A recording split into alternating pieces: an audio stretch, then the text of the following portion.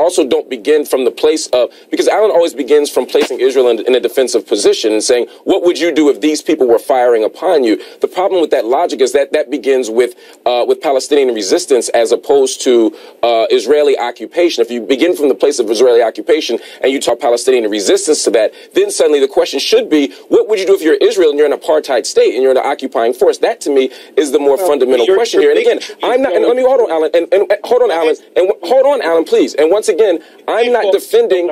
I'm not defending the killing of innocent children. I'm not defending breaking of ceasefires. I'm not suggesting that Hamas is above critique. I'm not pro Hamas. I'm anti occupation, and that's a very different conversation. And that's what the United Nations is attempting to do. Apartheid states we're engaging in bigotry. Look, I fought against apartheid. I was part of the legal team for Nelson Mandela. I know what apartheid is.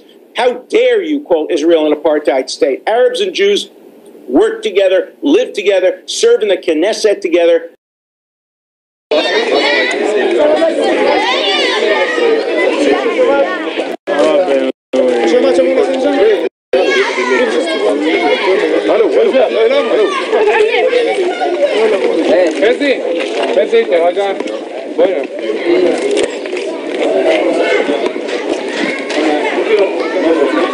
اطلع من عندك بلا شيء اوكي اوت ايه اوت اوت اوت مو مو اوت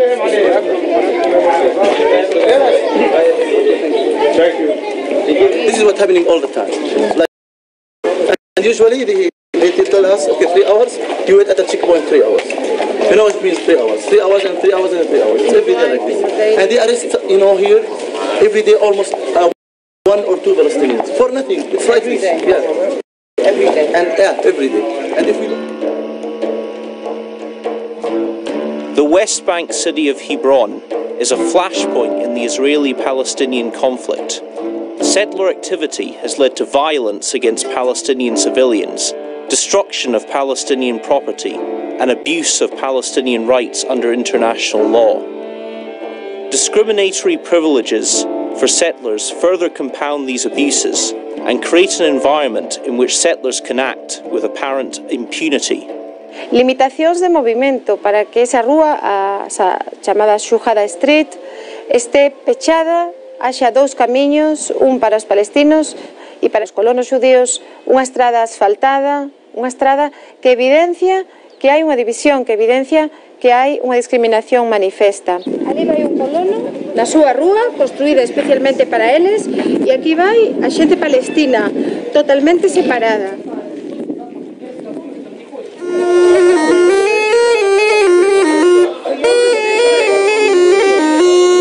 On vient donc de traverser Hébron, on a vu que c'est une ville magnifique qui a un potentiel économique euh, énorme et ce potentiel est n'est pas du tout euh, mise en valeur. Les gens sont dans une situation de souffrance énorme. Et ensuite, quand on franchit cette euh, ligne de démarcation, on voit de l'autre côté un endroit désert. Enfin, tout ça est irréaliste. This was the main street in Hebron. It was full of shops. It was the centre of the city and, and city life. And now, as you can see, it's closed. Not only are the shops closed, but the whole street is closed to any Palestinians. I can stand here because I'm not Palestinian, and the Israeli settlers can use this street, the soldiers use this street, the police who are here to look after the settlers use this street. But if the Palestinians want to travel down this way in the city, then they have to go up behind this wall and through the graveyard. It really is a system like apartheid.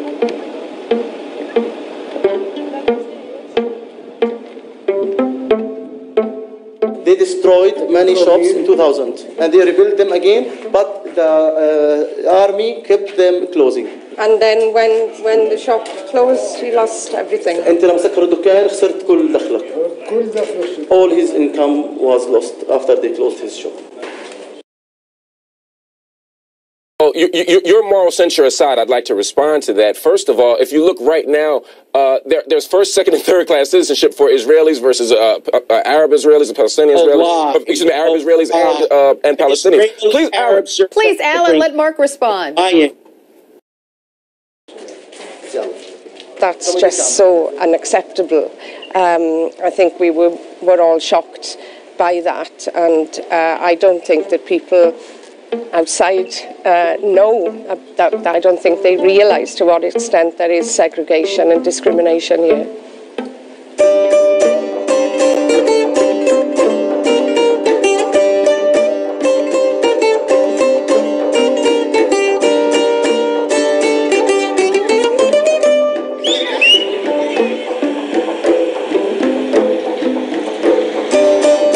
Freedom of movement is a prerequisite for accessing basic human needs such as healthcare, education, government institutions, workplaces, and for maintaining social, cultural, and family ties. The Israeli army has enforced systematic movement restrictions, which have become effectively permanent in some cases. These restrictions impact upon most aspects of Palestinian life and violate many of their basic rights and entitlements under international law. Hai toda unha política de restriccións dos movimentos a través dos chamados checkpoints, a través dos numerosos controis, das barreiras.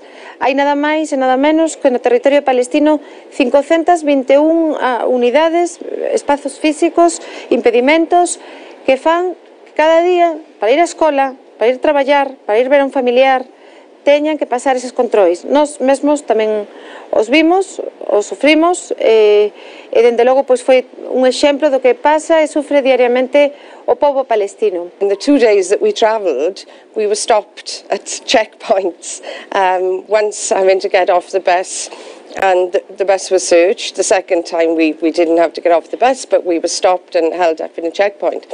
That was us, visitors. Um, not living here, but still having our schedule disrupted by the, the checkpoints. People living here, of course, have that all the time, every day, several times a day. Israeli checkpoints in the occupied West Bank have become part of everyday life for the thousands of Palestinians who must pass through them daily. They are a form of collective punishment, turning Palestinian cities into prisons. Talked about Israel being an apartheid state, number one. Number two, Israel. Address those points I made, though. Address those points I made, Alan. Address those points instead.